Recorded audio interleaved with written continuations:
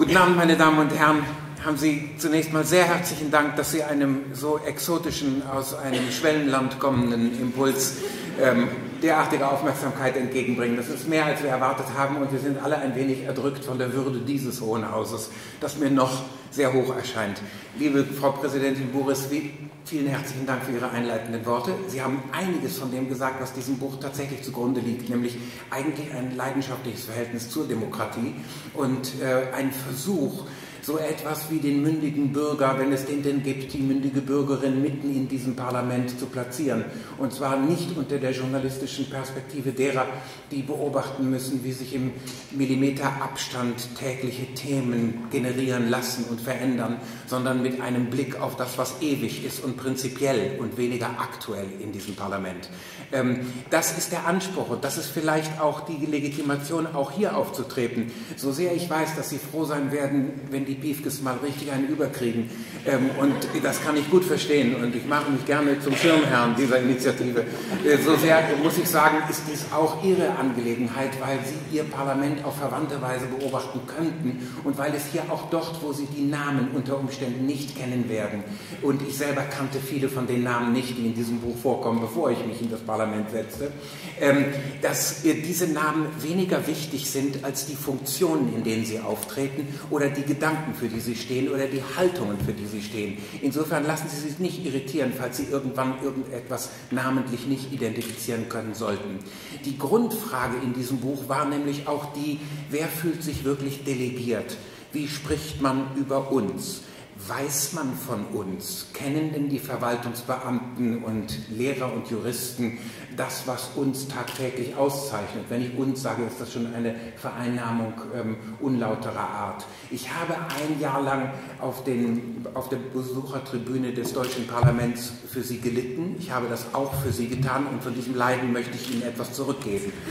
Und ähm, Insofern sollen Sie in den nächsten 90 Minuten zwar etwas über das deutsche Parlament äh, erfahren, aber eigentlich auch grundsätzlich etwas über den Zustand von Demokratie insgesamt. Und ich muss Ihnen sagen, dass es eine Freude ist, ähm, in dieser Anstrengung begleitet zu werden.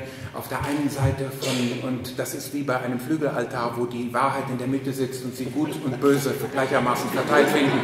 Das ist in parlamentarischen Häusern auch so, dass sich das nach Flügeln organisiert. Sie haben also auf der einen Seite eine Frau, die mir vor 40 Jahren bei einem Vorlesewettbewerb in Grinzing aufgefallen ist und ähm, die seitdem zum festen Ensemble dieser Tour gehört, die im März begonnen hat. Und auf der anderen Seite ein Mann, der den Kulturraum von Bremen, eine Stammeskultur, die im Norden Deutschlands ein ähm, weitestgehend toleriertes Dasein führt, den Luftraum durch Radioveranstaltungen kontaminiert, die Menschen dazu bringen, erst um 8 Uhr aufzustehen, weil dann die Sendezeit erschöpft ist und sie nicht auch noch hören müssen, was er sagt. Also, das ist Annette Schiedek und das ist Jens-Uwe Krause.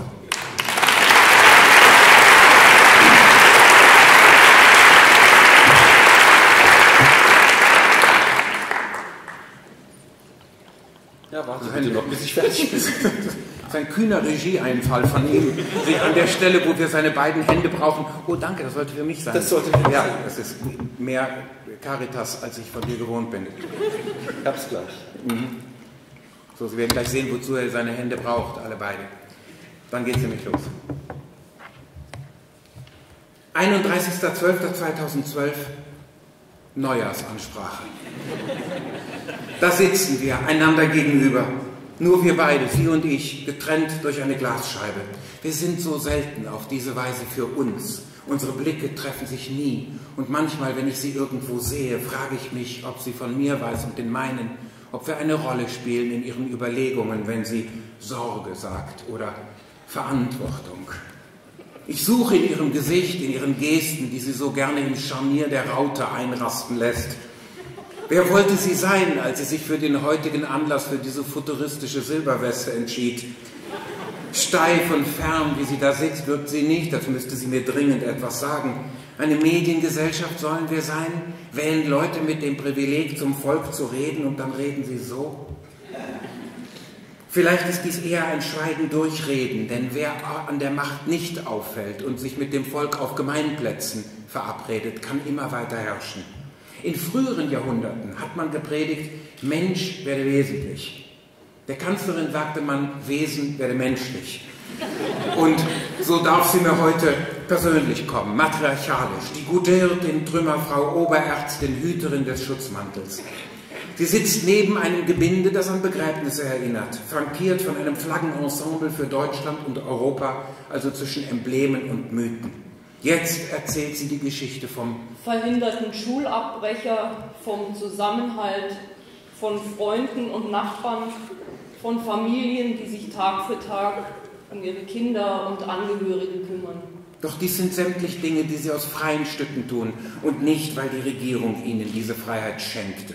Sie erzählt von Gewerkschaftern und Unternehmern, die gemeinsam für die Sicherheit der Arbeitsplätze arbeiten. Aber nicht dafür arbeiten sie, sondern für Geld. Sie lobt, wie wir alle beitragen, unsere Gesellschaft menschlich und erfolgreich zu machen. Aber das tun wir nicht, denn das Erfolgreiche und das Menschliche, sie sind nur in Sonntagsreden und in Neujahrsansprachen versöhnt. In der Welt drumherum heißt es eher, entscheiden Sie sich, was Sie sein wollen, menschlich oder erfolgreich. Die Kanzlerin aber weiß, was wir hören wollen.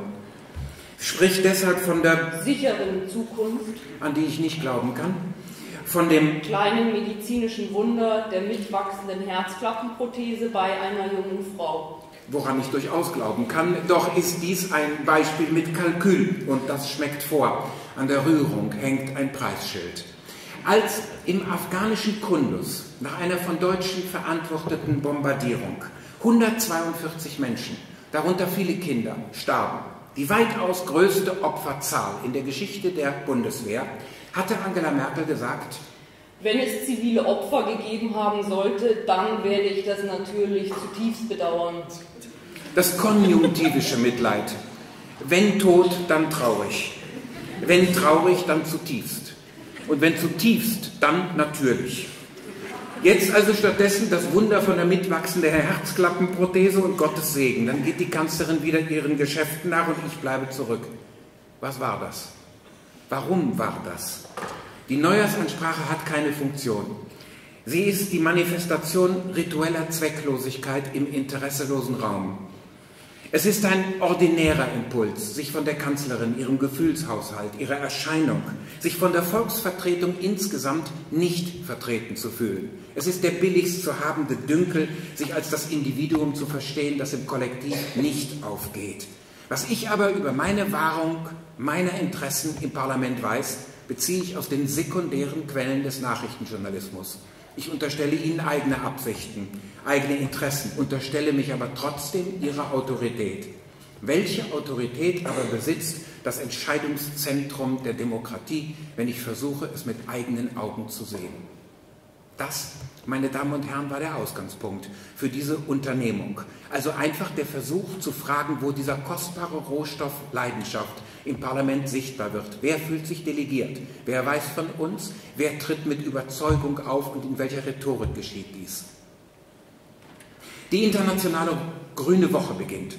Zum Auftakt sieht man die Verbraucherschutzministerin Ilse Aigner im Fernsehen öffentlich essen. Minister müssen zum Beweis der Basisnähe immer wieder mit den Requisiten ihrer Ressorts abgebildet werden.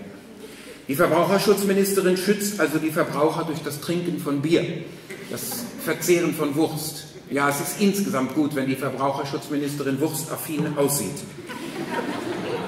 Der Verteidigungsminister sitzt im Panzer, der Umweltminister sucht mit der Grubenlampe ein Endlager, der Verkehrsminister schwenkt eine Eisenbahnerkelle. Der Außenminister kann sich wenigstens noch mit Afrikanern in bunten Hemden zeigen, nur der Wirtschafts- und der Finanzminister, die haben nichts. Ilse Aigner also wird in den nächsten Tagen wieder speisen und zechen müssen und ihre Vorvorgängerin im Amt sieht man sie attackieren mit Hinweisen auf Dioxineier, Keime im Schweinemett und Antibiotika im Geflügelfleisch. Das muss ein Ritual sein. Denn seit, mit, denn seit Künast 2005 aus dem Ministeramt schied, sind mit Horst Seehofer und Ilse Aigner acht Jahre CSU über den Verbraucherschutz gekommen und viele Papiere. Im letzten Jahr war es eine Charta für die Landwirtschaft, die keinen der jüngsten Lebensmittelskandale verhindern konnte. Stattdessen, so Künast, seien CDU und CSU Erfüllungsgehilfen der Agrarindustrie, der Großmastanlagen und der Megaschlachthöfe. Selbst für die Mitfinanzierung weißrussischer und ukrainischer Hühnerknäste seien sie verantwortlich, also für die Stärkung der ausländischen Konkurrenz mit deutschem Steuergeld. Man könnte dies angesichts der Fließeigenschaften internationaler Finanzströme als einen Teil der Globalisierung ansehen. Den CDU-Abgeordneten Norbert Schindler aber inspiriert es zu dem Zwischenruf Sie haben doch die Globalisierung vorbereitet. So wie sie da steht, klein, konzentriert und empört, traut man das Renate Künast gar nicht zu. Und man erfährt auch nicht, wie sie es geschafft haben soll. In Brasilien und Argentinien Tierfutter anzubauen, das mache Deutschland, sagt sie. Vor allen Dingen zum Nahrungsmittelkonkurrenten für arme Menschen. Das heißt, wir produzieren Hunger in Brasilien und Argentinien. Das ist die Wahrheit. Das ist vollkommener Blödsinn. Ruft Erik Schweikert, FDP, und Künast erwidert vom Pult. Herr Schweikert ruft vollkommener Blödsinn, Herr Schindler winkt gleich ab. Ich weiß nicht, ob das Ihr Verständnis von Parlamentarismus ist. Doch was bliebe vom Parlamentarismus, nehme man ihm den Blödsinn und das Abwinken. Ilse Aigner steht schon am Rednerpult, als Volker Kauder noch hineinruft. Die miefige Politik der Grünen. Mief, mief, mief. Doch die Ministerin versucht sich auf deeskalierende Weise staatsfraulich und stellt fest, wir regieren aber nicht nach dem Bauchgefühl. Da braucht Renate Künast nicht lange nachzudenken und ruft, ich habe gar keinen Bauch. Nein, der Parlamentarismus nimmt hier so wenig Schaden wie der Bauch. Er war schon immer so. Aber dass man vom Menschen manchmal mehr sieht, als diesem lieb sein kann, stimmt auch. Dann erscheint hinter dem Anliegen der um sich selbst kämpfende Mensch am Rande seiner Geistesgegenwart. So versteigt sich Matthias Mirsch, SPD, schließlich selbst zu dem Aphorismus. Als Sozialdemokratie sagen wir, dass Ernährung ein elementarer Bestandteil der Daseinsvorsorge ist. Wenn man das als Müttergenesungswerk sagte, wäre es genauso unsinnig. Ist doch das Essen zunächst einmal Daseinserhaltung. Vorsorge ist es auch ohne SPD, vor allem wenn man bedenkt, dass auch CDU-Abgeordnete sterben, wenn sie nicht essen. Es gehören zum Parlament aber auch seine Selbstheilungskräfte. Und so sind unter den Abgeordneten die Berufsstände der Lehrer, Juristen und Verwaltungsbeamten zwar dominierend, es gibt aber auch echte Bauern und Veterinäre. So erzählt Hans-Michael Goldmann, FDP, vom Landkreis Emsland, dem wildmorastigen Feen, in dem er Kind war.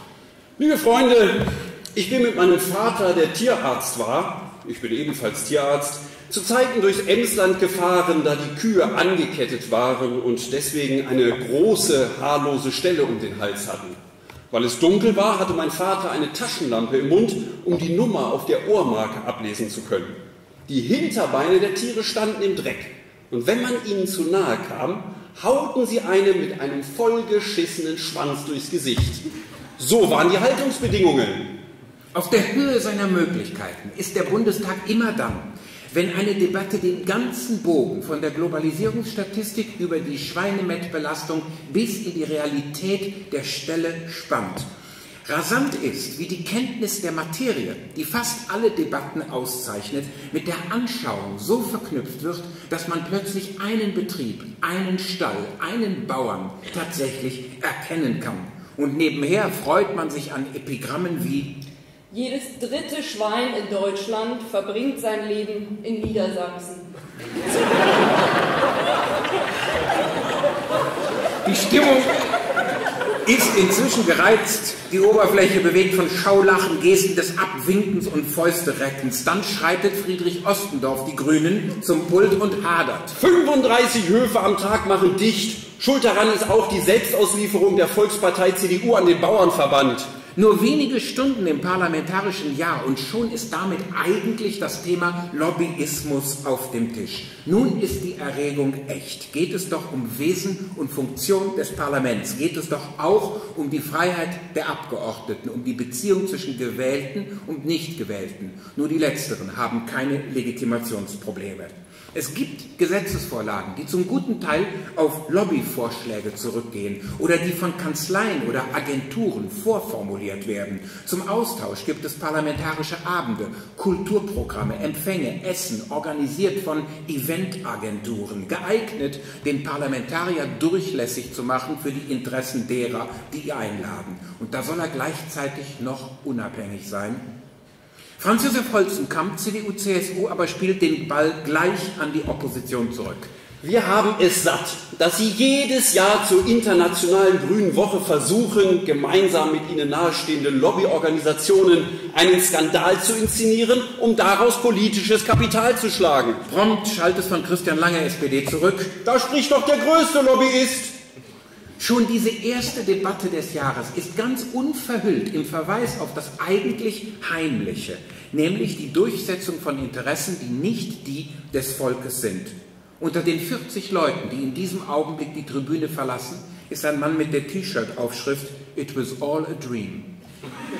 Die meisten lächeln, als habe man sie beim Verlassen eines Sexshops erwischt. Am Pult der Bundesminister für Wirtschaft. Die ist, sagt er, Stabilitätsanker und Wachstumsmotor. Die Aussichten, die sich mit Rot-Grün verbinden, das sind Zusammenbruch der Währung und Enteignung. Es gibt niemanden, der das glaubt, aber es musste offenbar gesagt werden. Es ist wie die Waschmittelwerbung. Sie kennt Hausfrauen, die es in der Wirklichkeit nicht gibt. Es gäbe sie in der Werbung nicht, wenn sie nicht wirkten. Und wenn ein Politiker Glaubwürdigkeit beansprucht, heißt das ja nicht, dass er sich auch selbst glauben muss.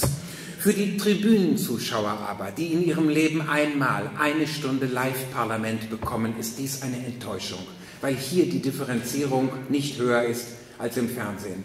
Hört denn die Talkshow nie auf? Angela Merkel zieht eine rote Tasche mit Henkeln heran, als handele es sich um ein angeleintes Tier. Dann holt sie sich mit einem Nicken Volker Kauder herbei. Die verbreitete Form der konservativen Rede lobt das Leben für seine Tagesform und findet von da eine direkte Verbindung zu den eigenen Verdiensten. Die seltenere ist jene, die die Notlagen bagatellisiert oder veralbert.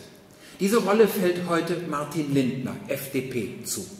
Armutsgefährdung wird von ihm als polemische Erweiterung des Armutsbegriffs verstanden, wozu CDU, CSU und FDP geschlossen klatschen. Es gibt in Deutschland eine Zunahme an Armutsberichten, aber keine Zunahme an Armut. Es sind diese Momente, diese Sätze, diese Applauswellen, in denen das Parlament aufhört, Volksvertretung zu sein. Denn wie immer man Armut erklärt, wen immer man für sie verantwortlich macht, sie zu leugnen, verneint die Realität nicht geringer Teile der Bevölkerung und steht im Widerspruch zu dem Gemeinschaftspathos, das sonst so gerne rhetorisch beschworen wird. Man muss diesen Moment einmal isolieren, indem man drei Parteien einem Satz applaudieren sieht, der nur als Verachtung der Wirklichkeit armer Menschen verstanden werden kann und sich der Mehrheit im Plenum erfreut. Es sind diese Momente, in denen man dem Parlament seine Verachtung zurückgeben möchte. Und das meint nicht die geistig unbeschenkte Polemik eines einzelnen Freidemokraten allein, sondern auch den Gesinnungsapplaus der Klaköre. Wir sind stolz auf diese Regierung, sagt ein Abgeordneter gerade. Da er Teil der Regierungskoalition ist, ist er eigentlich stolz auf sich. Und das glaubt man ihm auch. Das Prinzip der Wechselrede ist monoton. Man wird persönlich in der Verletzung, schamlos im Selbstlob. Man sagt, wir unterstützen die Bundesregierung auch darin. Also eigentlich ich unterstütze mich. Ich bin zufrieden mit mir. Ich bin weitsichtig. Ich habe alles wohl erwogen. Man begreift, dass dieser Apparat sich zunächst einmal selbst ernährt. Seine Egozentrik lässt in manchen Debatten kaum noch einen Raum für die Welt derer auf den Tribünen. Und so hat der Schüler vor mir aus der ganzen Debatte auch nur zwei Worte isoliert und sie in feinster Schreibschrift auf das leere Blatt geschrieben. Hanebüchene Fehleinschätzung. Es ist halb sechs. Ich nehme den ICE nach Hamburg. Auf dem Bahnsteig begegnet mir Martin Lindner, FDP. Er ist in Begleitung, das gegelte Haar schillert. Heute hat er einmal Quatsch reingerufen, einmal albern. Das war's. Gestern hat er gesagt, es gebe in Deutschland eine Zunahme an Armutsberichten, aber keine Zunahme an Armut. Der Gedanke gefiel ihm so gut, dass er ihn sogar wiederholte. In einem ICE begegnet Martin Lindner der Armut nicht. Aber als ich auf dem Bahnsteig sehe, wie sich ihm die Verkäuferin des Obdachlosenmagazins Straßenfeger nähert, ist mir die Situation fast schon zu plakativ, weiß ich doch, was nun folgen wird. Die abwehrende Geste, sich abwendende Person. Hier wenigstens fehlen Reden und Handeln zusammen. Anderntags referiert Gregor Gysi vor einem weitgehend schweigenden Haus, wie eine große Koalition aus buchstäblich allen übrigen Parteien im Jahr 2011 Waffenexporte in 125 Länder im Gesamtwert von 10,8 Milliarden Euro genehmigt habe. Die Zahlen bewirken, dass sich die Schüler auf den Tribünen untereinander verständigen, ob sie richtig gehört haben. Im Jahre 2011 gab es bei dem berühmten Bundessicherheitsrat, der ja zu entscheiden hat, ob ein Rüstungsexport genehmigt wird, 17.586 Anträge auf Genehmigung des Exports von Waffen bzw. Rüstungsgütern. Von 17.586 Anträgen wurden 105 abgelehnt. Das sind gut 0,5 Prozent. Und dann erklärt die Bundesregierung, man gehe äußerst restriktiv mit Exportzulassungen um. Heute steht Deutschland auf Platz drei der rüstungsexportierenden Staaten, aber man kann sich von außen kaum vorstellen, wie schlicht die Argumentation ist, die das legitimiert. Etwa wenn Joachim Pfeiffer, CDU, CSU, sagt, ich halte dies alles überhaupt nicht für verwerflich. Ganz im Gegenteil, ich bin stolz auf das, was die 80.000 hochqualifizierten Arbeitskräfte, die in der Verteidigungs- und Sicherheitsindustrie in Deutschland unmittelbar beschäftigt sind, zustande bringen. Verteidigungs- und Sicherheitsindustrie. Offenbar kann die Rüstungsindustrie nicht mal als das bezeichnet werden, was sie ist, sondern sie zieht Beschönigungen an, die sie zur moralischen Feuerwehr stilisieren durch Rennen, Retten, Löschen. Diese Rüstungsexporte tragen nämlich auch zur Friedenssicherung und zum Schutz der Menschenrechte auf dieser Welt bei. Das allerdings ist der Pegelstand parlamentarischer Schamlosigkeit, dass Rüstungsexporte der Erhaltung der Menschenrechte dienen sollen, bestätigt jeden, der dem Parlament Skrupellosigkeit vorwirft. Gleichzeitig hat die Genehmigung von solchen Rüstungsexporten nach Saudi-Arabien auch dazu geführt, dass die Al-Qaida-nahen Islamisten in der Sahelzone zu einem guten Teil mit deutschen Waffen ausgerüstet werden. Der entlarvenden Debatte stellt sich auch heute kein Mitglied der Bundesregierung. Dann tritt Martin Lindner, so vehement für Rüstungsexporte ein, dass einer Abgeordneten der Opposition ein Unfassbar entfährt, worauf Lindner erwidert, wenn der Maßstab der politischen Debatte wäre, was Sie fassen können, dann bräuchten wir gar nicht weiter zu diskutieren. Wenn der Mann Volksvertreter ist, wo ist das Volk, das sich so vertreten lassen möchte? Verfolgt zu haben, wie fünf der sechs Parteien im Deutschen Bundestag Rüstungsexporte selbst in den Nahen Osten, selbst nach Pakistan verteidigen, sich auf humanitäre Absichten, realpolitische Zwänge oder Arbeitsplätze hinausreden und mit welcher Empathielosigkeit das geschieht, das wird auch noch ein Jahr später ein Tiefpunkt aller Debatten sein, die ich im Hohen Haus verfolgte. Das Parlament als Ganzes aber ist ein arbeitsteiliges Gefühlswesen. Es bewegt sich dauernd durch unterschiedliche Empfindlichkeiten. Und so klingt der Tag geradezu plakativ sensibel aus, als Stefanie Vogelsang CDU um 21.40 Uhr ein Beispiel für Bürgersinn vorstellt. Es begann mit einer Initiative, die von einem engagierten Ehepaar, das oben auf der Tribüne Platz genommen hat, ergriffen wurde. Dieses Ehepaar hat eine Petition des Inhalts eingereicht, dass in Zukunft juristisch diejenigen, die mit einem Gewicht von unter 500 Gramm leider tot zur Welt kommen, als Menschen, als Personen behandelt werden und nicht mehr als Sache oder gar als Klinikmüll. Der Applaus ist allgemein. Die Eintragung von sogenannten Sternenkindern in Personenstandsregister ist wichtig für die Betroffenen. Sie können nun auf den Standesämtern eine Bescheinigung erhalten, in der nicht von einer Fehlgeburt die Rede ist, sondern das Kind einen Namen trägt und als zur Familie gehörig erklärt wird. Der Vorgang beweist, wie unmittelbar der Niederschlag sein kann, den Bürgerbeteiligung im Parlament findet. Er beweist aber auch, wie unterschiedlich die Temperaturgrade mitunter sind, mit denen das Parlament das nackte Leben begleitet. Mal wie Schwund, wo es um das Töten durch deutsche Waffentechnik geht, mal wie ein Sakrament, wo es die Achtung des nicht lebensfähigen Lebens betrifft. Als die Debatten für heute geschlossen werden, haben wir uns außerdem mit dem Fachkräftemangel, mit dem Essen an Ganztagsschulen, mit dem Kita-Ausbau, mit der Betreuung psychisch Kranker, mit dem Bürgerkrieg in Kolumbien, mit der Legalisierung von Cannabis beschäftigt. Da ist es 22.43 Uhr und mein Kopf schwirrt vom Tagesausstoß alles dessen, was wir brauchen. Was wir brauchen, sind gutes Essen, Vielfalt, ein hoher Bioanteil, regionale Produkte für alle Kinder. Wir brauchen ein Umweltmonitoring. Wir brauchen einen vorsorgenden Gewässerschutz. Wir brauchen einen fächerübergreifenden Ansatz. Wir brauchen dringend eine Verbesserung. Wir brauchen ein Sofortprogramm. Wir brauchen die Zwangsbehandlung. Wir brauchen eine individuelle Berufswegeplanung. Ein gutes Bildungssystem und einen modernen Sozialstaat. Mehr Mittel für die Bildung. Wir brauchen wesentlich mehr junge Leute. Wir brauchen Ärzte, wir brauchen Ingenieure, wir brauchen Lehrer. Wir brauchen längeres gemeinsames Lernen. Wir brauchen die besten Köpfe und Hände. Wir brauchen alle klugen Köpfe. Wir brauchen, meine Damen und Herren, einen klaren Blick auf den Kern dieser Krise. Wir brauchen eine ehrliche Analyse. Wir brauchen Geld. Wir brauchen Investitionen. Wir brauchen einen soliden Haushalt. Wir brauchen eine aktive Wirtschaftspolitik. Wir brauchen eine vorausschauende Wirtschaftspolitik. Wir brauchen den Politikwechsel in der Wirtschafts- und in der Sozialpolitik. Wir brauchen endlich eine Art Masterplan. Wir brauchen dazu keine SPD.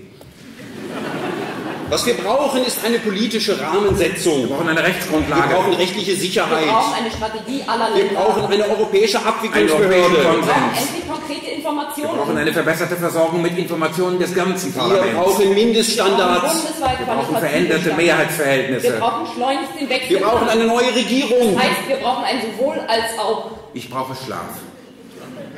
Heute bin ich mal gekommen, um alles zu mögen und mein Parlament wie etwas von mir Erstrittenes zu behandeln. Ja, heute sage ich mal mit Emphase mein Parlament.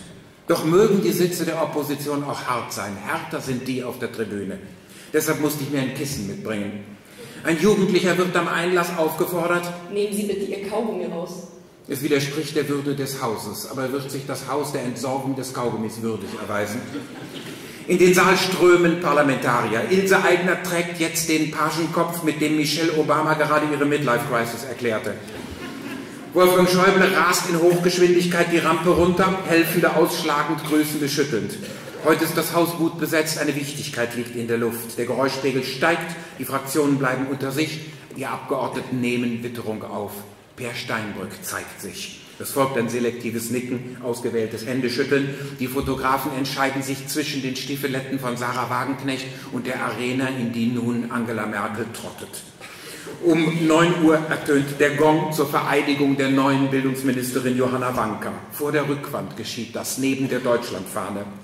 Sie trägt ein französisches Pelzkrägelchen, Merkel den üblichen Brustpanzer. Irgendwie ist Wankas Pelzbesatz mit seiner Wirtschaftswundereleganz geradezu ambitioniert, gemessen an den anderen Garderoben. Er ist wie Schleierkraut im Haar. Um 9.09 Uhr ist die Zeremonie schon vorbei. Und die Kanzlerin tritt ans Pult zur Berichterstattung über die Einigung beim europäischen Haushalt. Sie kommt heran wie Hans Meiser im Notruf, unmittelbar vom Schauplatz des Geschehens. Ihre Jacke ist mimikrygrau und passt sich der Wand hinter dem Rednerpult so exakt an, als löse sie sich in ihrem eigenen Schatten auf. Ähnlich ihre Sprechform, der bürokratische Deklarationsstil, der die große Geste, das einprägsame Bild, die treffende Metapher meidet. Der Apparat verlautbart. Für fünf Minuten meldet sich kein einziger Zwischenruf. Dann ein einzelnes Wo denn?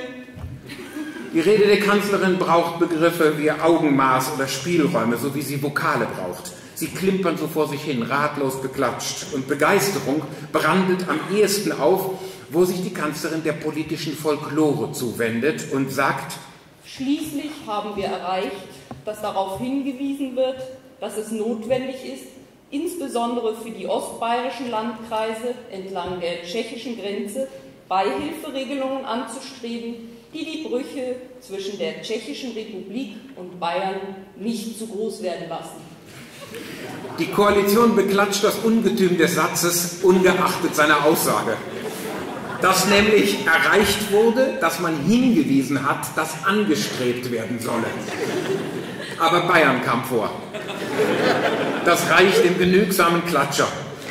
Und so setzt die Kanzlerin nach, Die Gegebenheiten sind unterschiedlich und man muss an alles denken.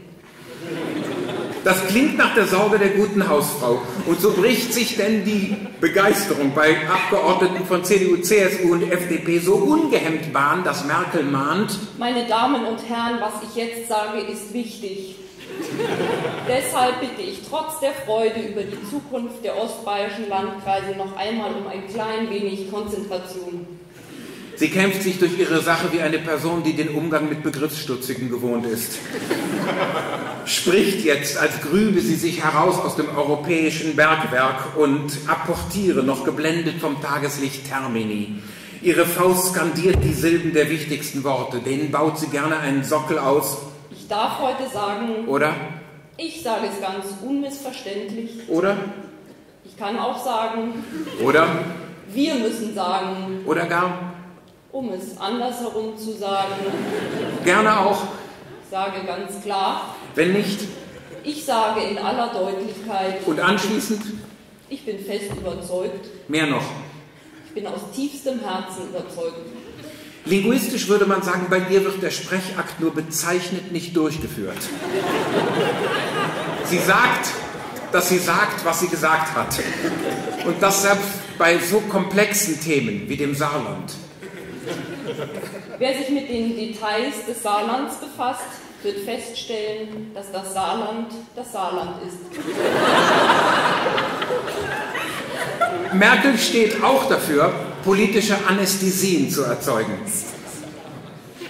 Themen, von denen jeder fragt, warum sie keinen Rang auf der politischen Agenda behaupten, werden von ihr verödet. Das wird beim NSA-Abhörskandal so sein wie bei den ertrunkenen Flüchtlingen vor Lampedusa.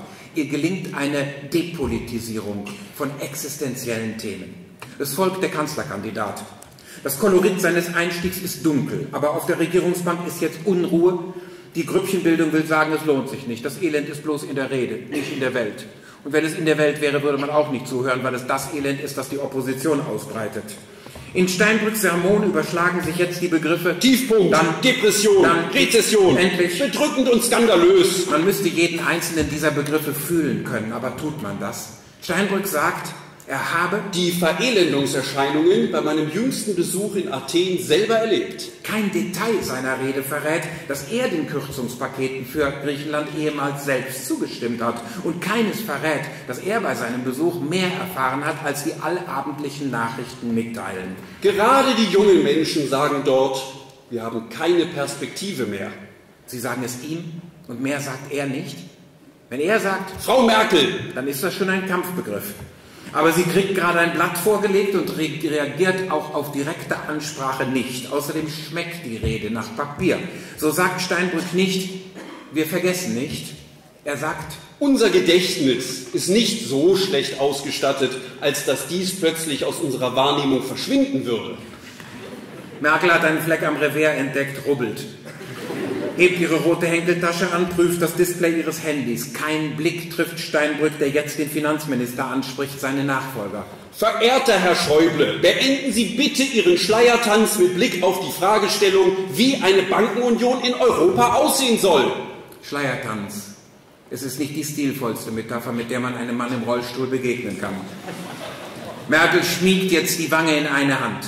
Sie sieht ihren Konkurrenten immer noch nicht an. Immer heftiger wird der Angriff, immer besser ihre Stimmung. Sie lächelt inzwischen mitleidig. Auch muss sie schon wieder ins Innere ihrer Handtasche das Display überprüfen. Sie sind, Frau Bundeskanzlerin, eine Last-Minute-Kanzlerin. Ruft Steinbrück, ein Prädikat ohne Schrecken. Der Redner kommt zum Schluss. Die SPD ist bereit, Regierungsverantwortung zu übernehmen. Eine Sensation wäre das Gegenteil. Rainer Brüderle, bleich und angegriffen aussehend, setzt auf kontinuierliche Selbstanfeuerung. Steinbrück werde als diplomatische Neutronenbombe bezeichnet, weiß er zu berichten. Er ticke auch volkswirtschaftlich falsch, was er mache, sei ökonomisch falsch, es sei auch politisch falsch, es sei wünscht dir was. Man glaubt das alles so sehr, wie man Heino eine Arie von Rammstein glaubt. Steinbrück war Merkels letzter Finanzminister, Brüderle war auch damals schon Brüderle. Seine Angriffe kommen jetzt persönlicher. Gerade läuft er zu einer Form auf, von der man ahnt, dass er selbst sie groß finden könnte. Immer böser wird er, aber auch immer unverständlicher. Von Marlon Brando sagte ein Kritiker ehemals, er spräche, als habe er feuchtes Klopapier im Mund. Rainer Brüderle wird stattdessen von Jürgen Trittins Zwischenruf ereilt. Wo sind die Untertitel, wie bei der Heute-Show? Merkel ist inzwischen ins Innere ihrer Tasche zurückgekehrt. Dann geht sie wieder zu von der Leyen, die schallend lacht, während Brüderle die Apokalypse beschwört. Steinbrück befindet sich unter Trommelfeuer, aber er bereitet sich mit Steinmeier, lacht, lacht lauter und demonstrativer. Brüderle, schmal geworden, beschwört die fetten Jahre und endet mit Packen wir es an! er packt ins Leere. Inzwischen hat sich aus der ersten Reihe eine rare Erscheinung gelöst. Sarah Wagenknecht spricht von Merkels wunderbarer Märchenstunde. Merkel geht, Rösler geht, die Regierungsbank leert sich. Wagenknecht ist gerade die einzige Person im Hohen Haus mit Silhouette. Doch ist es nicht wahr. Die Banken wurden mit einem Hilfspaket von knapp einer halben Billion Euro gestützt. Nicht sie aber bezahlten am Ende. Die Bürger taten es, vor allem die mit den kleinen und mittleren Einkommen. Sie blickten auf das Parlament, wenn sie noch blicken mochten, und fragten sich, wann hat dieses Parlament sich eigentlich zuletzt gegen eine Empfehlung der Regierung ausgesprochen? Nein, so hoch war das Hohe Haus schon lange nicht mehr. Und Wagenknecht insistiert, das sind die 4,5 Billionen Euro, die die europäischen Steuerzahlerinnen und Steuerzahler dafür aufgebracht haben, marode Banken zu retten. Das sind gleichzeitig die 3,2 Milliarden Euro, die die Deutsche Bank im Jahr 2012 an Boni ausgeschüttet hat. Es schwindet die Zuhörer auf den Tribünen angesichts von Zahlen, die niemand sonst im Parlament nennt. Mit zurückgesetztem rechten Fuß, geradezu mitten im Marschieren, erreicht Wagenknechts Empörung ihren Höhepunkt. Ihre Politik macht die Demokratie in Europa kaputt, sagt sie, ergreift ihr Wasserglas und schreitet zu ihrem Platz in der ersten Reihe, wohl ahnend, dass ihre Erscheinung sie nicht minder vereinzelt als ihre Position. In diesem Moment ist das Parlament gerade eine Art Großraumbüro mit angeschlossener Speakers Corner. Jetzt wendet sich Jürgen Trittin der Kanzlerin zu, zu, aber die ist nicht mal zu sehen im Rudel ihrer Gesprächspartner. Sie wollen Dioxin im Hühnerei. Sie taucht auf, ist aber gleich wieder bei ihrem Mobiltelefon. Sie wollen Pferdefleisch in der Lasagne. Trittin lehnt jetzt auf dem Pult wie auf einer Theke. Seine Hand schwebt im Luftraum und setzt von dort Nadelstiche. Sie wollen Antibiotika im Hühnerfleisch subventionieren. Er redet entlang der Widersprüche einer Politik, die unaufgelöst bleiben. Was macht diese Kanzlerin? Sie blättert. Die Situation umfasst das Künstlichste, was es in Kommunikationssituationen geben kann. Zwiesprache mit einer abwesenden, Verletzungen ohne Körper, Beleidigungen ohne Adressaten. Eine groß angelegte Debatte hat sich in ihre Niederungen gesenkt. Die Armen, suggeriert man am Pult inzwischen, seien arm doch nur, um der Regierung zu schaden. Und Matthias Zimmer, CDU, erklärt schließlich, die ganze Armutsdebatte werde zu sehr mit Blick auf lediglich materielle Faktoren geführt. Ich stelle mir diesen Abgeordneten vor, der in seinem Wahlkreis eine Hartz-IV-Familie besucht und ihr erklärt, sie sei in ihrer Armut zu sehr auf materielle Werte fixiert. Er sagt auch, Menschen könnten sich durchaus bei genügender materieller Grundausstattung als arm empfinden. Armut kann also auch psychosomatisch sein. Später hat Ilse Aigner noch ein Verbraucherschutz-ABC vorgetragen, das nach rhetorischer Laubsägearbeit klang. Dann hat sie sich anhören müssen, dass Horst Seehofer dem Lkw-Fahrer, der den Gammelfleischskandal aufgedeckt hat, die Verdienstplakette des Bayerischen Ministeriums überreicht hat, der Fahrer dann aber entlassen wurde und sich das Parlament dem Schutz solcher Arbeitnehmerinnen und Arbeitnehmer immer noch widersetzt. Und höre ich recht, dass Volker Kauder, Merkels rechte Hand, diese Forderung ungerügt mit dem Zwischenruf kommentiert, dann führen Sie die Blockwarte wieder ein. Trotzdem richtet gerade ein Regierungsvertreter seinen Vorwurf an die Opposition. Wie gehen wir eigentlich miteinander um? Das ist doch nicht Ihr Ernst. Sie wollen doch Frau Eigner nicht ernsthaft unterstellen, dass sie sich im Schoß der Industrie wohlfühlt bzw. suhlt. Das kann doch nicht in Ihrem Kopf sein. Jetzt ist es in meinem Kopf. Das Bild einer Ilse Aigner, die sich im Schoß der Wirtschaft wohlfühlt, wenn nicht suhlt. Womit das Bild zumindest viehwirtschaftlich intakt wäre. Die Stimmung im Saal ist hitzig. Als habe man sich aufgerieben, setzt man den abgetretenen Argumenten eine erhöhte Dosis an Beleidigungen zu. In kürzester Zeit hat man sich des Unwissens, der Dummheit, der Dreistigkeit, der Schönfärberei, der Täuschung, der Lüge, der Verlogenheit, des Unsinns, des Umfallens, der Heuchelei, des Populismus, der ideologischen Borniertheit, des schlechten Charakters bezichtigt und dabei sind nicht einmal Stunden vergangen. Es kommt wie Musikberieselung. Ich setze mich außen vor den Plenarsaal auf eine Bank und schaue der Garderobenfrau zu, die die Flaggen auf einem Faltblatt auswendig lernt. Ich erlebe das Parlament ja auch im Zustand dessen, was aus ihm geworden ist die immer dort arbeiten, haben die leise Verschiebung ins Rabiate vielleicht gar nicht bemerkt. Manches ist deshalb nur plausibel als die Reproduktion eines lange vergangenen Rituals, so wie die Saaldiener Schwalbenschwänze tragen, weil das Mahl feierlich war, während es heute kostümiert wirkt, aus der Zeit gefallen. Denn wir sind in diesem IKEA-Ambiente eben nicht das englische Unterhaus. Wir sind Demokraten ohne Nimbus und alles andere ist Attrappe. Selbst der christsoziale Schnösel tritt wie ein Kraftmeier auf und möchte donnern. Seine Rede aber gibt nur ein Säuseln her. Es ist, als wollte jeder Emile Solas J'accuse noch einmal sprechen, auf den Barrikaden stehen, aber keinen Strafzettel dafür bekommen. Als Thomas de Maizière nach den Grenzen seiner Disziplin gefragt wurde, sagte er, beim Mensch ärgere dich nicht, lass ich schon mal die Sau raus. Der Biedermann, der so spricht, ist derselbe, der Waffenlieferungen nach Saudi-Arabien verteidigt. Die Entscheidungen sind oft fatal, die Entscheidungsträger nicht selten banal. Das Plenum ist nun sehr voll, entsprechend der Lärm. Selbst mit Mikrofon setzen sich die Redner kaum mehr durch. Man hört die Akkorde auf der Klaviatur des Widerspruchs. Sie haben Ihre Hausaufgaben... Sie haben es nicht gemacht, als Sie es im Bundesrat. Sie machen es in den Ländern anders. Es ist bloß Wahlkampf. Es ist populistisch. Sie haben geschlafen. Sie haben es immer noch nicht verstanden. Und im Gegenzug? Wir sind auf einem guten Weg. Wir haben Gestaltungsspielraum eröffnet. Wir haben Chancen verbessert. Rahmenbedingungen geschaffen. Unsere Hausaufgaben gemacht. Verantwortung übernommen. Gestaltet. Mit einem Wort. Es waren vier gute Jahre für Deutschland. Aber der Rückenschmerz, der Hintern ist durchgesessen. Es ist 21 Uhr. Eine Schülerin schläft auf der Schulter der Nachbarin. Zwei Halbwüchsige haben begonnen, die Rede des CSU-Abgeordneten aus Bayern zu dirigieren. Sonst aber hat die Schulklasse, die hier auch schon nach, die auch nach 22 Uhr hier noch sitzt, auch schon bemerkt, dass man Schülern weit mehr Disziplin abverlangt als Volksvertretern. Nur die letzteren sehen gerade nach ADHS aus. Der Redner kämpft eben gegen den Satzbau und für die Auenwälder. Allenfalls den letzten Kampf kann er noch gewinnen. Dann geht er und verbeugt sich wie ein Kapellmeister. Das war die Flusspolitik, die die Linken auch mit Blick auf den Klimawandel beantragt haben. Aber was kann Flüssen schon Schlimmeres passieren, als in einem Antrag der Linken vorzukommen? Also abgelehnt. Spät ist es geworden. Die Reden zu den Tagesordnungspunkten. Anforderungen an Notfallsanitäter. Zusammenarbeit mit China. Änderungen im Soldatengesetz. Planfeststellungsverfahren bei Großprojekten. Rechte indigener Völker stärken. Werden zu Protokoll gegeben. Im Eildurchmarsch zur Beschlussempfehlung finden keine Beratungen mehr statt. Die Handzeichen fliegen hoch, Zwischenrufe bleiben aus, alles wird unbesprochen en bloc entschieden. Der Tag war lang, draußen wachten die Limousinen. Syrische Flüchtlinge nicht im Stich lassen? Abgelehnt. 21 Punkte werden so durchgepeitscht. Zuletzt dankt die Präsidentin denen, die zugegen waren. Bei unserem Ritt durch beinahe jedes Feld der Politik. Die Sitzung ist geschlossen. Ein letzter Seufzer geht durch den Saal. Der Parlamentsassistent kommt heran und sagt höflich, Sie müssten dann jetzt auch diesen Saal freimachen. Die Kamerafrau im Aufzug stöhnt nur ein einziges Wort. Langweilig. Finde ich nicht. Da schweigt sie endgültig.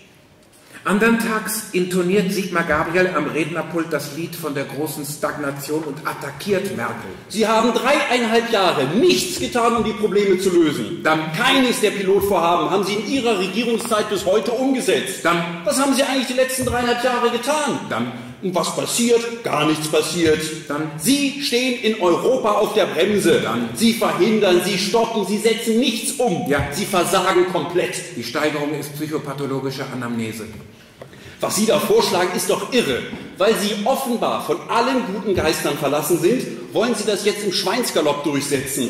Sie müssen wirklich, Entschuldigung, nicht mehr ganz bei Trost sein. Es war ein anderer Gabriel. Ein Gabriel mit einer Haltbarkeit bis zur Wahl. Und obendrein täuscht er sich im Wähler. In der Parlamentsarbeit mag Stillstand qualvoll sein. Das Volk aber wünscht sich vor allem die Wahrung des Bestehenden. Seine großen Träume sind ausgeträumt. In das rosige Morgengrauen sozialdemokratischer Zukunftshoffnungen wird niemand reiten. Stillstand ist in diesen Zeiten einfach zu gut beleumundet.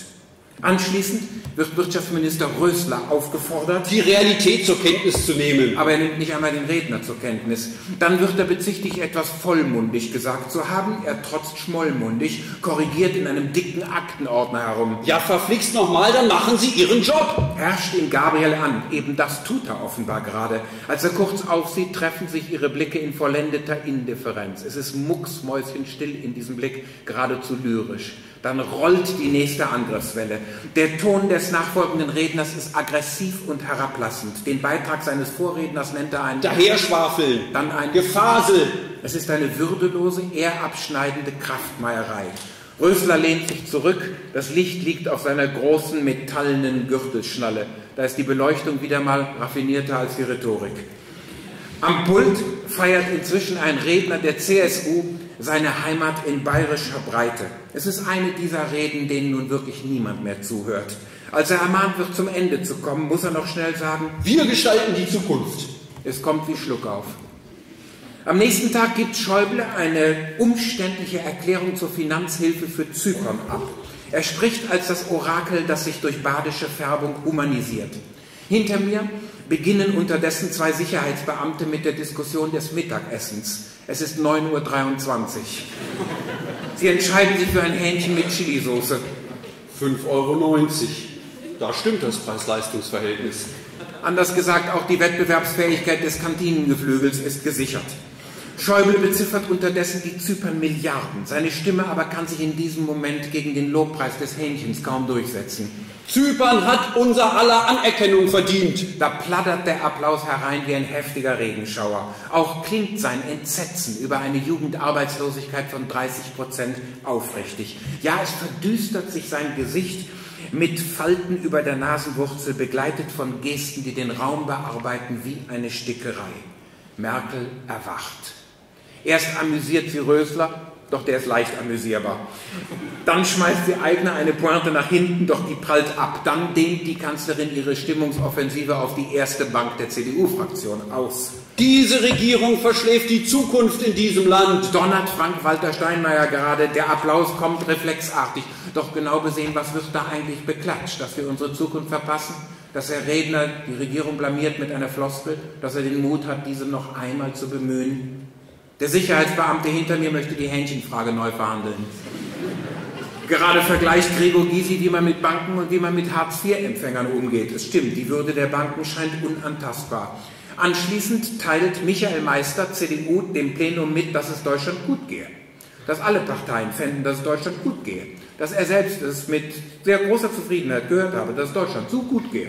Aber Gregor Gysi müsste er sagen, das ist kommunistische Politik. Sie führt die Menschen in den Abgrund und ins Elend. Er glaubt sich selbst weder die Menschen noch den Abgrund noch das Elend, sagt aber auch, bei der Frage der Gerechtigkeit muss man sehr deutlich die Frage stellen, was ist denn gerecht? Man darf bei der Parlamentsrede genauso deutlich die Frage stellen, was ist denn Gerede? Manchmal nämlich sagen Abgeordnete Dinge, die nirgends so unbemerkt blieben wie am Pult des Deutschen Bundestages. So formuliert Per Steinbrück, ich bin überzeugt, dass Gerechtigkeit nicht nur für den gesellschaftlichen Zusammenhalt von zentraler Bedeutung ist, sondern sich auch für alle rechnet und für alle rechnen muss. Die Gerechtigkeit also, auf der die Verfassung fußt, die wir in der Hymne besingen und die die allgemeine Erklärung der Menschenrechte uneingeschränkt fordert. Auch sie soll plötzlich dem Markt unterworfen werden, sich rechnen. Und sollte sie sich nicht rechnen, wird uns dann eines Tages jemand erklären, dass wir sie uns eigentlich gar nicht leisten können und wird dieser jemand dann ein sozialdemokratischer Kanzlerkandidat sein? Noch dazu stimmt es ja nicht einmal. In Wirklichkeit funktioniert der gesellschaftliche Zusammenhalt auch ohne Gerechtigkeit. Mehr noch, auf nichts verzichten Lohnabhängige, Krankenversicherte, Obdachlose, behinderte, werktätige Frauen so bereitwillig wie auf Gerechtigkeit. Zu fordern aber, dass sich dieser gesellschaftliche Leitwert rechnen müsse, widerspricht den Grundrechten, ist also im Kern verfassungsfeindlich, wenn man es denn mit der Gerechtigkeit und der Verfassung und der Parlamentsrede so ernst nehmen möchte. Der Sommer ist kurzfristig eingetroffen, das Schattenspiel in der Kuppel konturiert wie nie. Als ich meinen Platz eingenommen habe, zermatscht Rainer Brüderle gerade Silbentrauben im Mund. Er eifert. Wir haben im Haushalt die schwarze Null auf den Weg gebracht, erreicht. Das ist zweierlei. Aber Hubertus Heil, SPD, ruft rein. Sie sind die schwarze Null. Ja, so kenne ich mein hohes Haus. Dauernd den Kopf im Himmel der Visionen, aber mit den Füßen im Matsch.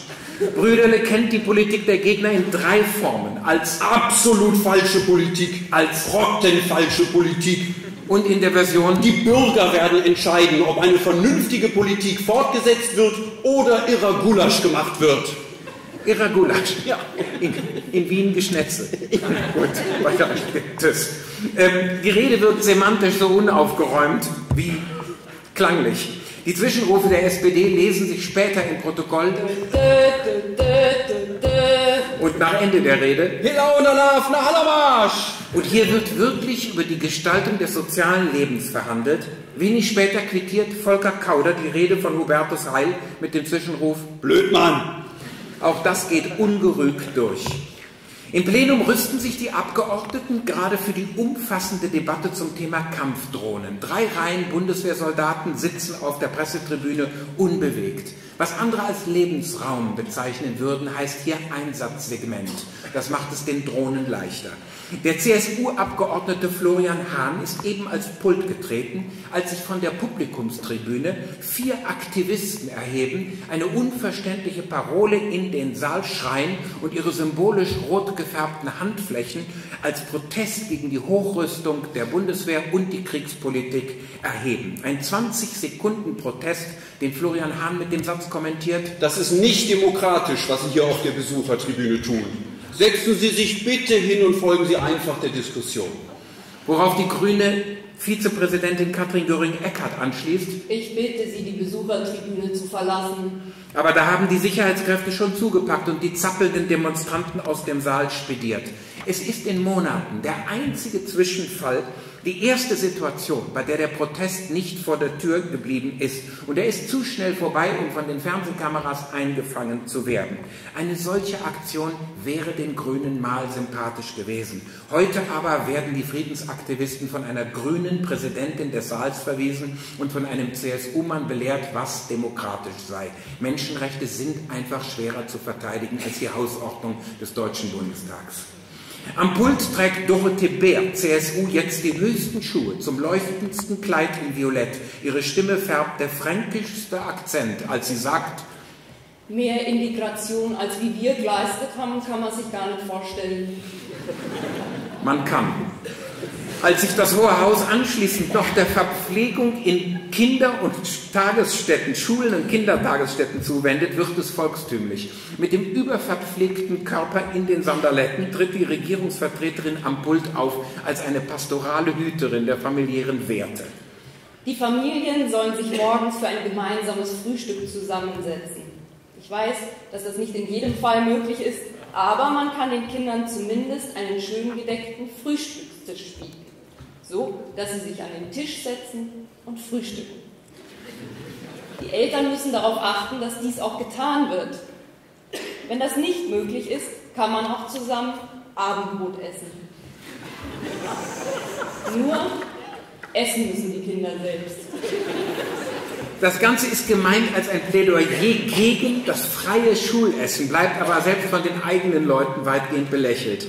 In diesem Debattenteil entstehen Einzelbilder von der Familie beim diskriminierungsfreien Abendessen. Als aber eine CDU-Abgeordnete sagt, beim Belegen der Pausenbrote zeige sich eine tiefe Verunsicherung, wird es Zeit für mich zu gehen, schwer unverunsichert. Heute habe ich mir ein Fernrohr mitgenommen, aber es hilft nichts, das Öffentliche bleibt das Heimliche. Der Mensch, der jetzt eintritt und sich ein ganzes Bild machen will, staunt über das, was plausible Regeln und ihre Übertretungen aus dem Parlament gemacht haben. Ist dies nicht auch das Leichenschauhaus der parlamentarischen Idee? Oder hänge ich bloß der altmodischen Vorstellung eines Plenums an, in dem sich die Interessen aller wiederfinden sollen, das Mehrheiten organisiert, in großen Perspektiven denkt und entscheidet, also lauter romantischer Kram, dem das reale Parlament sich vielleicht nur noch flüchtig verbunden weiß. Doch kann man tatenlos zusehen, wie es sich selbst beschädigt? Ist das der Gang der Geschichte? Etwas begann barbusig auf den Barrikaden und endet mit Motivkrawatte im Ausschuss? Als ich hereinkomme, freut sich die Schulklasse auf der Tribüne gerade über die Auskunft mit dem Wortlaut Wir wollen Verkehr in jeder Form. Wir auch, lachen die Gesichter. Die Tagesordnung verzeichnet heute Punkte von 9 Uhr morgens bis andern Tags 8 Uhr früh. Präsident Norbert Lammert mahnt nur das Dringlichste zu sagen. Niemand wird sich daran halten. Parlament kommt von Palare, wenn nicht von Palaver. Dann tritt mit Angela Merkel die Direktorin in die Aula und überreicht sich selbst das Zeugnis, das Beste. Zur Bilanz ihrer Amtszeit gähnt der Umweltminister lange mit unbedecktem Mund. Die Kanzlerin legt Nachdruck auf jeden Satzteil. Ich habe darauf hingewiesen, dass schon Jacques Delors darauf hingewiesen hat. Dass wir alle viel mehr hinweisen sollten. Sie psychologisiert, nennt, was Bankenkrise ist, lieber Vertrauenskrise, nennt sich selbst erfolgreich klug, beständig, sozial, verlässlich, gerecht, nochmal klug, überzeugt, nochmal sozial, nochmal erfolgreich. Anschließend malt sie das Schreckgespenst des Wandels an die Wand, verspricht genauso weiterzumachen wie bisher und nickt dann so freundlich, als habe ihr jemand die Tür aufgehalten. Vor allem eins sollen wir, so weitermachen. Wirklich? Dann packt sie ihre Rede in eine schwarze Mappe, lächelt und erlischt. Es ist nicht Unbeholfenheit, es ist Kalkül. Die Kanzlerin hält Reden fast frei von Ideen, ja selbst von Einfällen. Lieber bewegt sie die Saalluft durch Einatmen, Ausatmen und sabotiert im Grunde das Kommunikationsmodell. Man weiß nicht, wer das Ich in dieser Rede ist. Wer das Wir? Man sieht keinen Adressaten, glaubt die Daten nicht immer und selten dem Gefühl. Auch hat die Sprache kein Zuhause im Munde der Kanzlerin. Sie lobt sich unablässig, ist aber nicht eitel, formuliert weitsichtig, aber ohne Bild von der Zukunft, beschwört Gespenster, doch nur strategisch und verschiebt die großen Begriffe wie Freiheit und Sicherheit wie alte Möbel. Wenn sie sagt, ich bin fest überzeugt, weiß man, was jetzt kommt, ist weder fest noch überzeugt. Sie erinnert einfach an die Firmenchefs in der Werbung, die sagen, dafür stehe ich mit meinem guten Namen. Sie hat sich emporgearbeitet zu einer Manifestation politischer Gestaltlosigkeit und eben dadurch ist sie politisch in einer Zeit, die keine Charaktere, keine Schurken, keine Erlöser sucht, sondern Sachbearbeiter, morphologisch schwächer, differenzierte Instanzen, die Macht durch Zuschreibung bekommen. Man bewundert an ihnen nicht, was sie sind, sondern was ihnen angetragen wurde. Das ist nicht einmal wirklich dämonisch, es ist banal. Und genau darin nicht einmal erschreckend. Das ist der Triumph der Glanzlosigkeit, also auch der eines Landes, das sich im Pragmatismus feiert. Der ihr am Pult nachfolgende Per Steinbrück beginnt mit einem Scherz, den man zunächst für verunglückt hält. Fritz Erler habe auf die Regierungserklärung von Ludwig Erhard ehemals sinngemäß geantwortet, Ihre Rede, Herr Bundeskanzler, war sehr reziplikativ. Beifall bei der SPD sowie bei Abgeordneten von Bündnis 90 Die Grünen Unruhe. daraufhin gab es eine ähnliche Unruhe wie jetzt, weil sich alle fragten, was heißt reziplikativ eigentlich? Heiterkeit und Beifall bei Abgeordneten der SPD. Daraufhin sagte Fritz Erler, das heißt gar nichts, das spricht sich nur so schön. Die Pointe kommt also sicher. Auch die Anschlüsse sind gelungen, denn Steinbrück vollendet man bemerkt, man habe den Eindruck, dass man diese Regierungserklärung schon drei, viermal gehört hat. Das ist auch der Grund dafür, dass die Hälfte der Regierungsbank absolut überwältigt ist. Allerdings vom Schlafbedürfnis.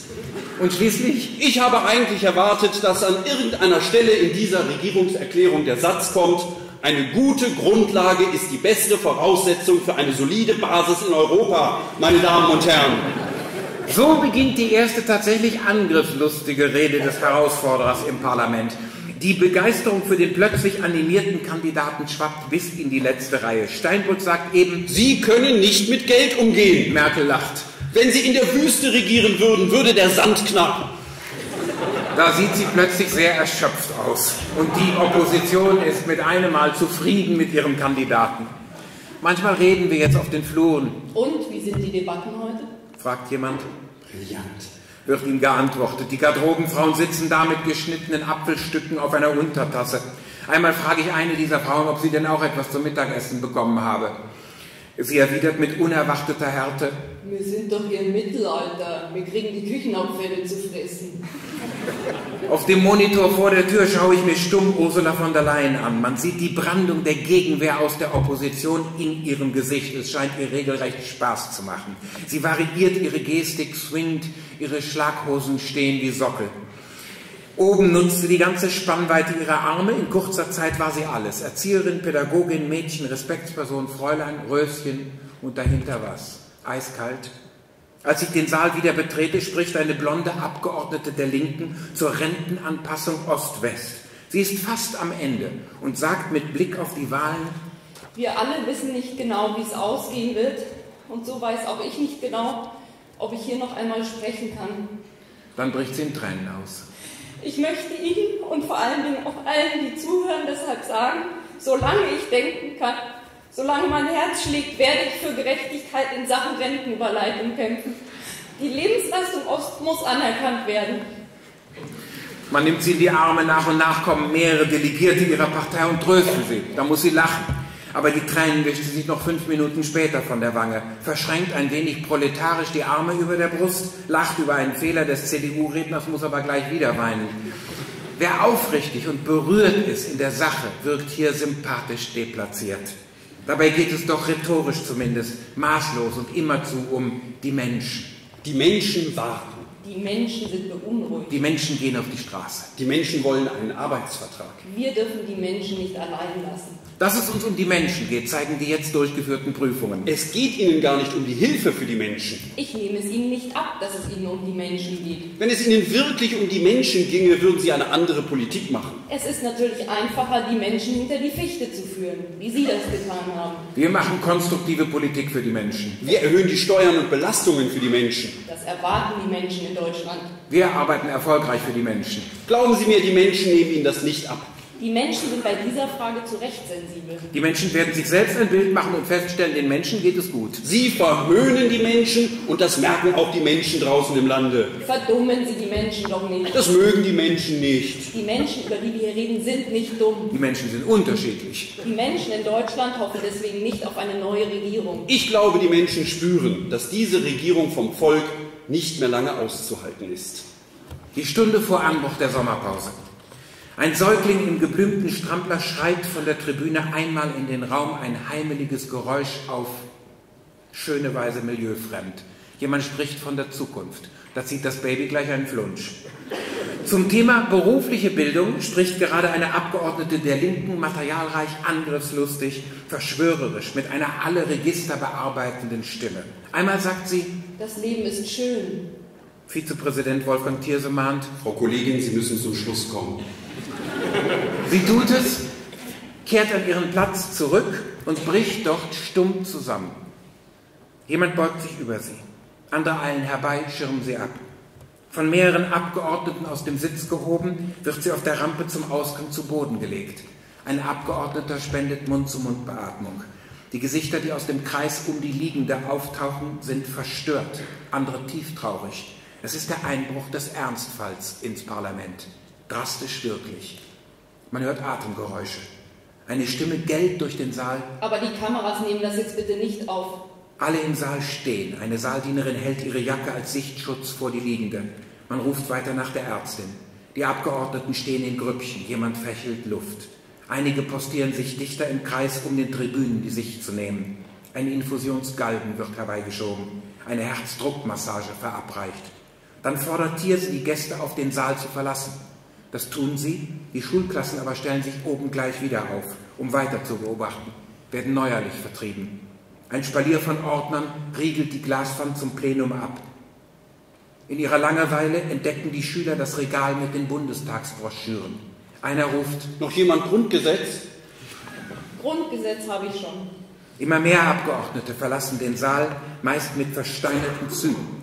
Die Unterbrechung dauert 25 Minuten. Man denke über das Leben nach in einer solchen Situation, sagt ein Abgeordneter später im Aufzug. Auch über den Umgang miteinander.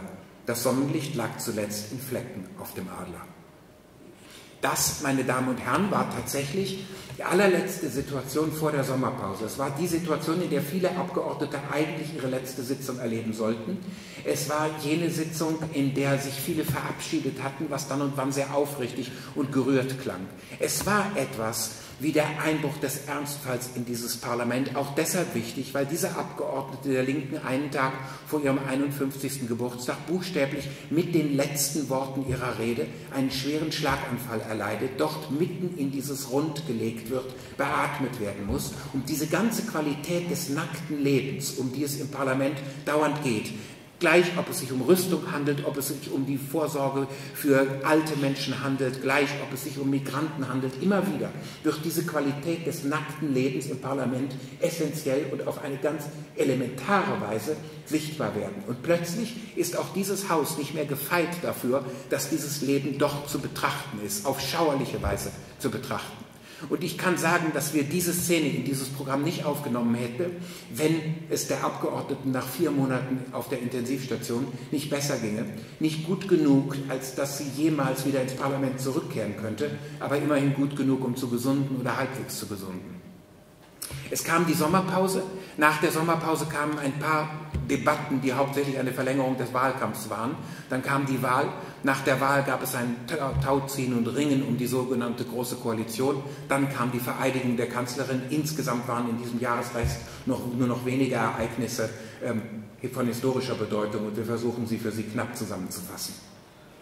Nach der Sommerpause der Bundespräsident trifft auf der Tribüne ein. Er nimmt unter Vertretern der türkischen Familien Platz, die bei den Anschlägen der NSU, also rechtsextremer Kreise, Angehörige verloren haben.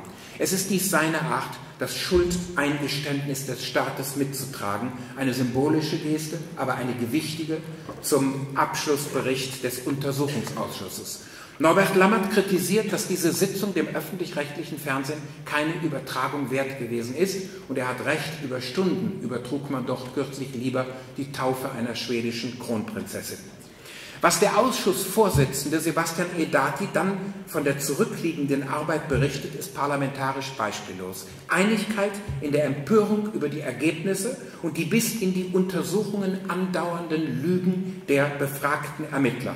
Einigkeit in jeder Abstimmung, Einigkeit bei einer überparteilichen Arbeit ohne Zwist. Dabei erlaubt sich der Redner keinerlei Beschönigung, berichtet fassungslos von derart massiven Behördenversagen und lässt keinen Raum mehr für eine parteibezogene Ausbeutung des Falles. Die Aufmerksamkeit ist hoch. Edati referiert, dass bei neun von zehn Morden mit Ressentiment, mit Vorurteil ermittelt worden sei. Der Angriff auf den Verfassungsschutz ist frontal, das Schuldeingeständnis für den Staat ehrlich und umfassend, der Applaus dafür stark und anhaltend. Nur Kulturstaatsminister Bernd Neumann trifft mit 20 Minuten Verspätung ein und beginnt gleich, sich nach beiden Seiten zu unterhalten. Von den Tribünen aus, auf denen neben den Angehörigen der türkische und der griechische Botschafter Platz genommen haben, ergibt sich das Bild eines feierlichen Plenums, in dem ein einziger den Geist der Stunde nicht erfasst hat. Dieser ist der Kulturvertreter. Die Reden sind indessen parteiübergreifend gut und beweisen, was das Parlament leisten könnte, würde es weniger strategisch und sachlicher arbeiten. 47 Empfehlungen wurden im Konsens aller Fraktionen vom Ausschuss beschlossen. Dann berichtet Petra Pau von ihren Besuchen an den Tatorten, von den Gesprächen mit den Angehörigen der Opfer. Einer von diesen, der seit 40 Jahren in Deutschland lebt, habe eingeräumt gewiss, die Polizei könne Fehler machen. Aber Sie haben vergessen, dass wir Menschen sind und das kann ich nicht verwinden. Doch schon zeigt das feierlich gestimmte Kollektiv Erosionsprozesse. Die Regierungsbank lehrt sich. Auch heute ist die Tribüne disziplinierter als das Parlament, das zuschauende Publikum mehr bei der Sache als das Plenum. Während am Pult über Staatsversagen und Rechtsterrorismus gesprochen wird, geben mehrere Minister das Bild kompletten Desinteresses ab. Der Bundespräsident sitzt da mit gefalteten Händen, aufmerksam, blickt auf die leeren Plätze von Westerwelle, Rösler, Eigner, auf das Aktenstudium Schröders, die Konversationen Ramsauers, Pofallas und Neumanns. Sie alle sagen, es gibt Wichtigeres. Und wir auf den Tribünen können nicht anders, als uns zu fragen, was die Angehörigen der Ermordeten von diesen Bildern halten zeigen sie doch vor allem die Halbwertzeit der Ergriffenheit an. Die Kanzlerin hat die Arme übereinander geschlagen, abgekämpft. Doch bleibt sie sich der demonstrativen Bedeutung ihrer Anwesenheit bewusst. Serkan Tören, FDP, nennt dies gerade eine Sternstunde des Parlaments und beschließt seine Rede auf Türkisch. Merkel geht anschließend zu ihm und schüttelt ihm die Hand, auch das eine Geste, so still wie sprechend. Nach der Wahl. Der gern euphorisiert auftretende Alterspräsident Heinz Riesenhuber, Professor Heinz Riesenhuber, eröffnet mit einem verwandt der US-amerikanischen Hochzeitsformel. Ist jemand in diesem Haus früher geboren als ich? So rede er oder schweige ewig, ergänzt man.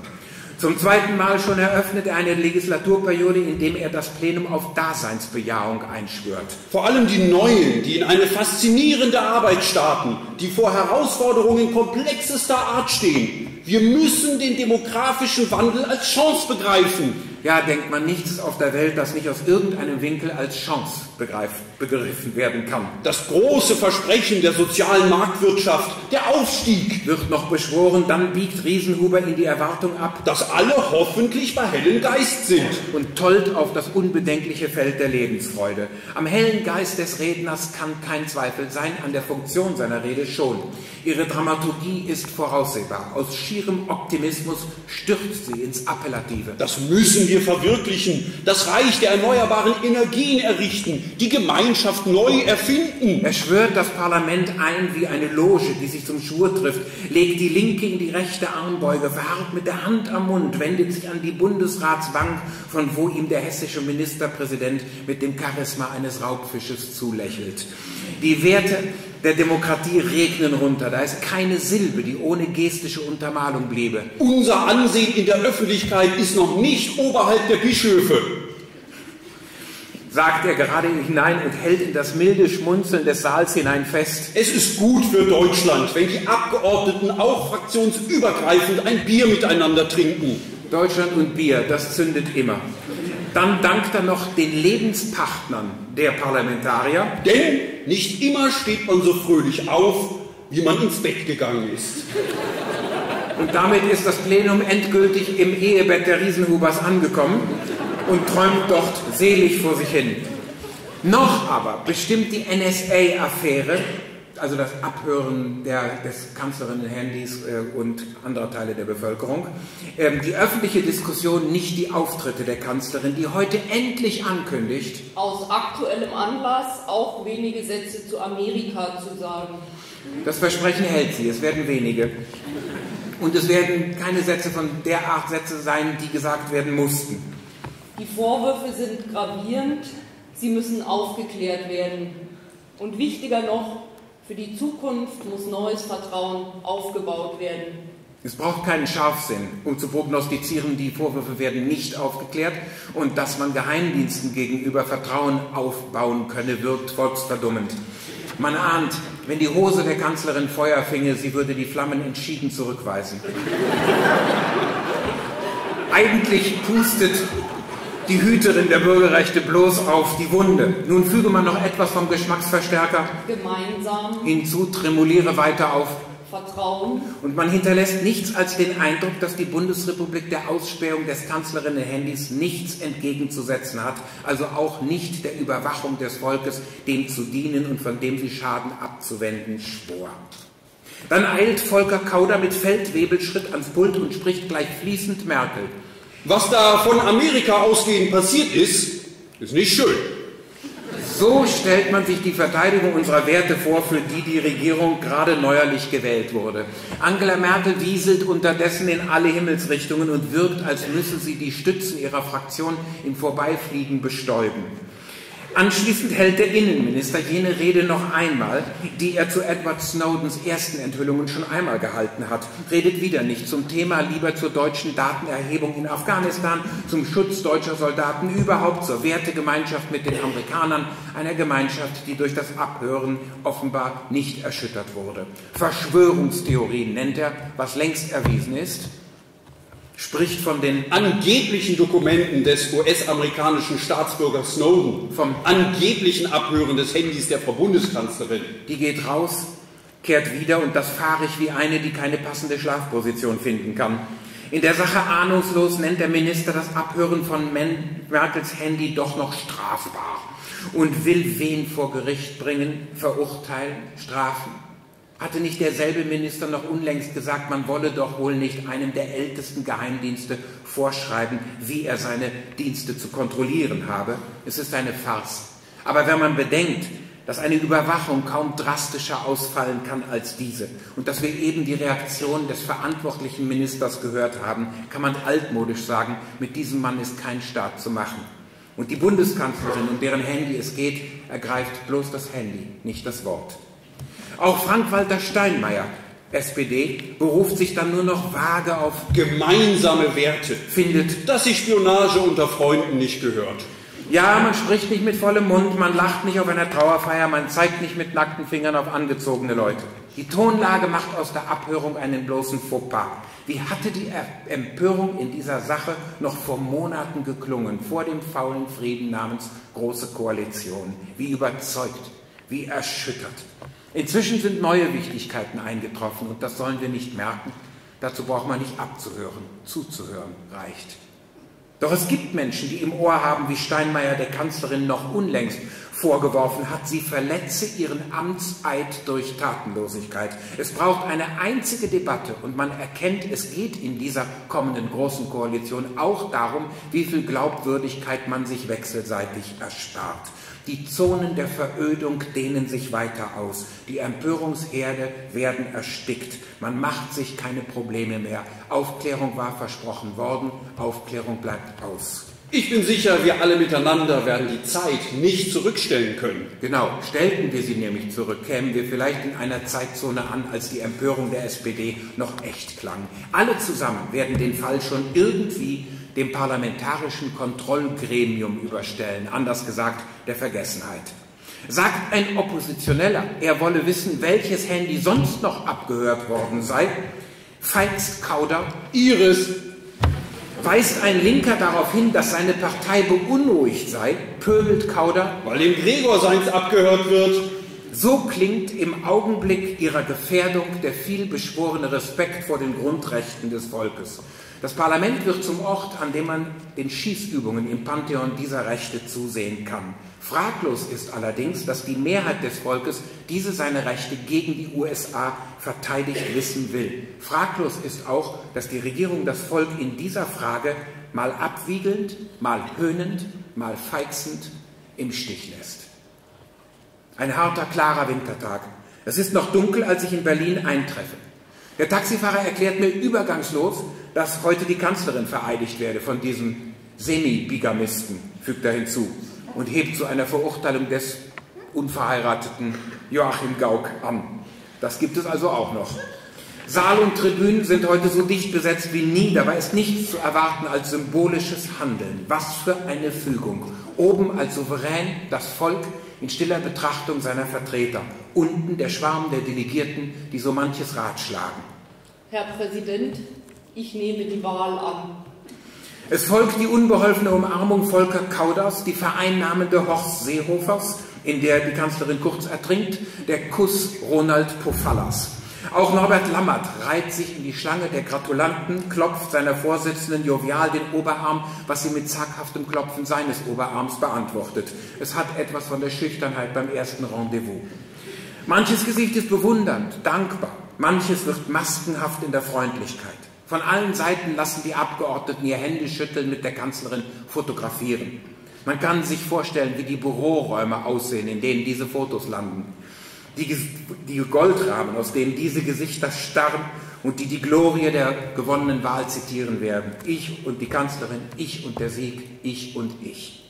Als Merkel zur Vereidigung unter die Fahne gerufen wird, gibt sie nicht die mächtigste Frau der Welt, sondern eher die leitende Angestellte eines parlamentarischen Instituts. In Situationen des Erfolgs wird sie nicht recht beheimatet. Eher möchte sie all das jetzt schleunigst hinter sich bringen. Ihr Gesamtschwarz, das einzig von einer braunen Kette gebrochen wird, wirkt wie Trauerschwarz.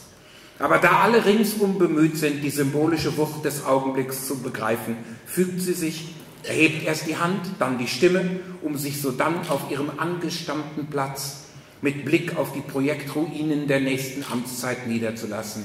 Da wollte sie hin, da sitzt sie jetzt. Am nächsten Tag verzeichnet das Protokoll zur Regierungserklärung der Bundeskanzlerin das Novum. Beifall bei der CDU, CSU und der SPD. Merkel beginnt mit Selbstlob unterscheidet zwischen Fortschritten und erheblichen Fortschritten, zwischen Erfolg und sehr großem Erfolg, zwischen erfolgversprechenden Konzepten und herausragenden Konzepten, flankiert von Stabilität und Wachstum und auch Wachstum und Beschäftigung bis hin zu mehr Stabilität und Wachstum und am Ende einem Europa der Stabilität, des Wachstums und natürlich der sozialen Sicherheit.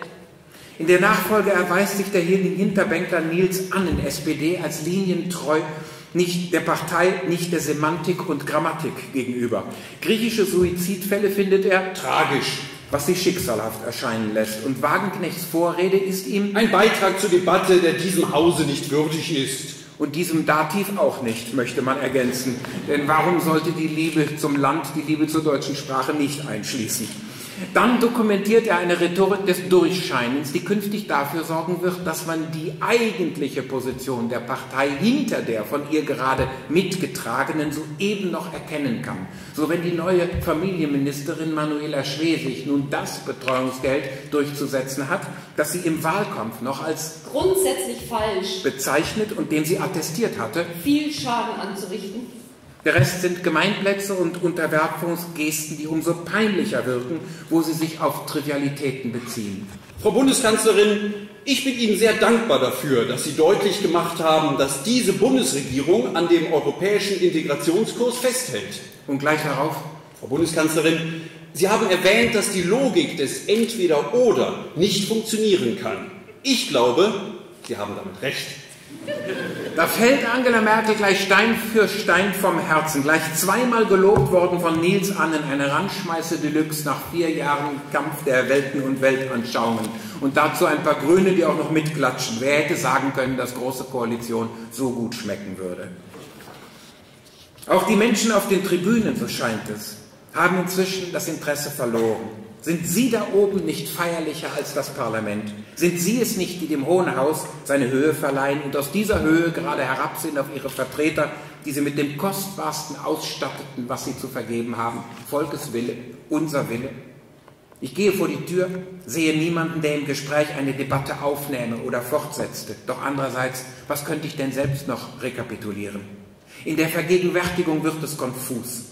Da fliegen mir die Appelle und Satzbausteine, die Silben und Füllsel um den Kopf, Zahlen, Ausschnitte von Statistiken, die wie Konfetti durch die Luft regnen. Ich kann dieses ganze Meinen, Bedeuten, Simulieren, Vordergrund beanspruchen, bald nicht mehr verfolgen, nicht mehr ertragen. Es ist ein einziger Wirbel von Ausrufezeichen, Signalen, Zeichenkomplexen. Oft kann ich die Person in der Sprache nicht identifizieren, nicht die Haltung der Person hinter den Worten. Es tanzt durch die Luft, dass es einem den Atem nimmt. Man möchte raus auf die Plätze, auf die Bürgersteige, möchte etwas von dem finden, was Menschen wirklich umtreibt, aber ganz ohne parlamentarische Repräsentation ist. Man möchte der Rede entkommen und etwas wirklich Gemeintes, Belastbares, Drängendes hören, etwas dem Palaver entzogenes, Veränderung versprechendes.